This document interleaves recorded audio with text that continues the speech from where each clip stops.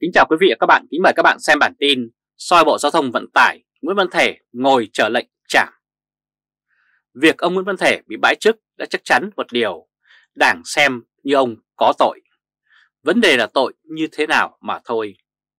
Theo thông lệ của chính quyền Đảng Cộng sản Việt Nam thì quan chức sai phạm phải được Trung ương xử lý về mặt đảng trước đó.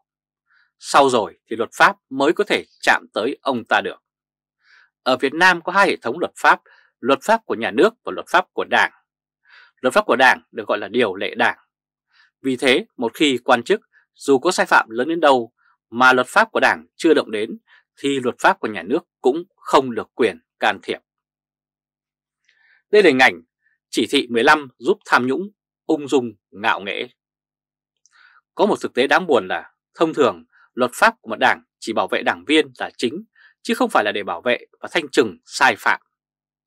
Phát biểu tại hội nghị tổng kết phòng chống tham nhũng lãng phí từ những năm 2015, Thiếu tướng Phan Anh Minh, Phó Giám đốc Công an Thành phố Hồ Chí Minh lúc đó đã than vãn rằng vì vướng chỉ thị 15 mà công an không thể bắt quan chức phạm tội mặc dù đã có đầy đủ bằng chứng. Chỉ thị số 15 CTTV vào ngày 7 tháng 7 năm 2007 của Bộ Chính trị khóa 10 ban hành về sự lãnh đạo của Đảng đối với các cơ quan bảo vệ pháp luật trong công tác điều tra xử lý các vụ án và công tác bảo vệ đảng viết rằng các cơ quan pháp luật khi phát hiện có dấu hiệu đảng viên vi phạm đều phải báo cáo bằng văn bản với tổ chức của đảng, cấp ủy của đảng quản lý trực tiếp đảng viên đó. Sau khi được tổ chức đảng, cấp ủy đảng xem xét đồng ý cho điều tra khởi tố bắt, thì cơ quan bảo vệ pháp luật mới được tiến hành các biện pháp tố tụng. Nói chung, chỉ thị này đã cấm công an không được quyền tổ chức điều tra đảng viên nếu không được tổ chức đảng, cấp ủy quản lý trực tiếp của đảng viên đó ra văn bản đồng ý. Như vậy, ông Nguyễn Văn Thể dù được xác định là có tội nhưng Trung ương Đảng chưa đồng ý cho luật pháp chạm vào thì ông Thể vẫn an toàn. Hiện tại đối với Đảng, ông Nguyễn Văn Thể có tội vì đã cách chức Bộ trưởng Bộ Giao thông Vận tải. Nhưng nếu ông Trọng chưa cho phép thì không một cơ quan điều tra nào có thể được chạm vào vị trí của cựu Bộ trưởng này. Đây là hình ảnh ông Nguyễn Văn Thể số phận vẫn chưa biết gì và chưa biết đi đâu về đâu. Vào ngày 2 tháng 12 vừa qua, Bộ Công an đã tách hồ sơ giao cho cơ quan điều tra 4 tỉnh, thành điều tra và xử lý việc công ty Sienco một cổ phần hóa nhưng không cộng giá trị quyền sử dụng 4 khu đất vào trị giá doanh nghiệp, gây thiệt hại hàng chục tỷ đồng cho nhà nước.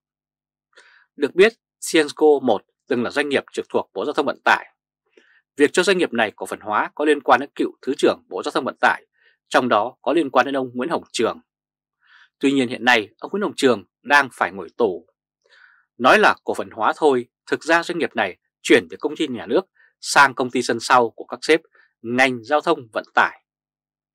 Ông Đinh La Thăng, ông Nguyễn Hồng Trường và ông Nguyễn Văn Thể khó mà tránh khỏi những liên hệ rất mờ ám đằng sau hình thức cổ phần hóa này. Đó là cách các quan chức lấy tiền của công, tức là của người dân Việt Nam, để đút vào túi riêng. Theo thông tin từ một người giấu tên thuộc vùng máy này cho biết, nếu không có sự bảo kê của lãnh đạo Bộ Giao thông Vận tải nhiệm kỳ 2011-2016, thì Ciensco 1 không thể với tay vào tài sản của nhà nước mà gây ra thiệt hại lớn đến như vậy. Sau khi ông Đinh La Thăng và ông Nguyễn Hồng Trường ngồi tù, ông Nguyễn Văn Thể lên ghế Bộ trưởng Bộ Giao thông Vận tải, thì Ciensco 1 vẫn làm thất thoát tài sản của nhà nước không cần phải có hồ sơ chứng minh, chỉ cần dùng phương pháp loại trừ thì cũng biết ông Nguyễn Văn Thể không thể không có liên quan. Đây là hình ảnh rất có thể ông Trọng đã cho phép ông Tô Lâm điều tra hướng vào những sai phạm của ông Nguyễn Văn Thể. Ông Nguyễn Văn Thể là một bộ trưởng tai tiếng với rất nhiều yếu kém của ngành giao thông vận tải. Tuy nhiên, việc soi công ty Sienco 1 liệu có dẫn đến kết quả và kết luận sai của ông Nguyễn Văn Thể hay không? Và liệu đây có phải là hướng điều tra nhắm vào Nguyễn Văn Thể hay không đang là một câu hỏi được nhiều người quan tâm. Tình thế hiện nay cho thấy có khả năng ông Nguyễn Văn Thể đang ngồi vào ghế bí thư đảng ủy khối trung ương, chính là chiếc ghế dự bị để chạm. Và khi có khả năng hướng điều tra này nhằm, nhằm củng cố thêm chứng cứ để đưa ông Nguyễn Văn Thể vào gặp sếp của ông là Đinh La Thăng và đồng minh Nguyễn Hồng Trường ở trong tù. Chúng ta hãy cùng chờ xem các diễn biến sắp tới trong chính trường của Đảng Cộng sản Việt Nam. Quý vị và các bạn vừa theo dõi chương trình truyền hình trực tiếp của Lê Trung Khoa, Thời báo chấm với bản tin soi Bộ Giao thông Vận tải, Nguyễn Văn Thể ngồi chờ lệnh trả. Quý vị và các bạn hãy chia sẻ video này cho nhiều người biết và bấm nút theo dõi YouTube và Facebook của Thời báo chấm để luôn được cập nhật những bản tin mới nhất, nhanh nhất và trung thực nhất. Từ Berlin, Cộng hòa Liên bang Đức chào các bạn và hẹn gặp lại các bạn ở bản tin lần tới. Trung Khoa Thời báo chấm Đánh lớn, ông Trọng cho cản quét từ Bắc chí Nam, hàng loạt quan to bị trò hun khói. Cứ mỗi lần ông Nguyễn Phú Trọng cho ông Trần Cẩm Tú, chủ nhiệm Ủy ban Kiểm tra Trung ương, triệu tập của họp thì ý như rằng sẽ có những cá nhân bị đưa lên thớt. Đây là những kỳ họp mà các quan chức chưa bị lộ hóng xem tên mình có bị déo hay không. Nếu ai bị déo thì phần lớn là tiêu tan sự nghiệp chính trị của mình. Ông Trần Cẩm Tú chẳng khác nào công an nội bộ. Chính ông này đã kiểm tra và đưa ra hình thức trừng phạt dựa theo đề lệ đảng rồi sau đó trình lên ông Tổng Bí thư Nguyễn Phú Trọng. Từ ngày 29 đến ngày 30 tháng 11, Ủy ban Kiểm tra Trung ương đã họp kỳ thứ 23 dưới sự chủ trì của Chủ tịch chủ nhiệm Ủy ban Trần Cẩm Tú. Kỳ họp này, ông Trần Cẩm Tú đã nêu ra hàng loạt cái tên, toàn là những vị đứng đầu các tỉnh như Đồng Nai, Thanh Hóa, Nam Định và Bình Dương. Đây là hình ảnh ông Trọng đang cho đánh lớn. Tại Đồng Nai, cả cựu bí thư và cựu chủ tịch tỉnh đều bị tổng cộng có 12 cựu quan chức và 4 cựu quan chức nắm các doanh nghiệp quốc doanh. Tại Thanh Hóa thì bị kỷ luật 10 người, Nam Định thì bị kỷ luật 8 quan chức, Bình Dương bị kỷ luật 4 người. Như vậy, đợt này ông Nguyễn Phú Trọng cho lên thớt 38 quan chức, trong đó có cả từ bí thư đến giám đốc sở, bí thư huyện ủy và giám đốc doanh nghiệp. Đấy chỉ là 14 địa phương, còn rất nhiều địa phương khác trong cả nước. Ông Trần Cẩm Tú chưa lên danh sách, và cứ mỗi kỳ họp như vậy, ông Trần Cẩm Tú lại cho càn quét một vài tỉnh, làm cho các quan chức chưa bị lộ xanh mặt. Từ chỗ lò ông Trọng bùng cháy suốt nhiều năm qua và càng soi thì càng lòi ra nhiều quan chức tham ô, tác trách, lợi dụng, vân vân. Đó chính là bức tranh của chế độ độc đảng do Đảng Cộng sản Việt Nam đang lãnh đạo. Cách đây 10 năm, tại kỳ họp cho ý kiến về báo cáo giám sát việc thực hiện chính sách bảo hiểm y tế giai đoạn 2009-2012 của Ủy ban Thường vụ Quốc hội, bà Nguyễn Thị Doan lúc đó là Phó Chủ tịch nước đã phải thốt lên câu nói mà sau này đã bị xã hội nhắc đi nhắc lại. Trước đó, bà từng ca ngợi chế độ này là dân chủ gấp vạn lần các nước tư bản. Nhưng tại kỳ họp này thì bà lại nói rằng ăn của dân không chừa thứ gì. Đây là hình ảnh ông Nguyễn Phú Trọng, người mà vẫn miệt mài đốt lò. Ông Nguyễn Phú Trọng sẽ còn cho nhiều quan chức vào lò, cứ thêm nữa và thêm nữa.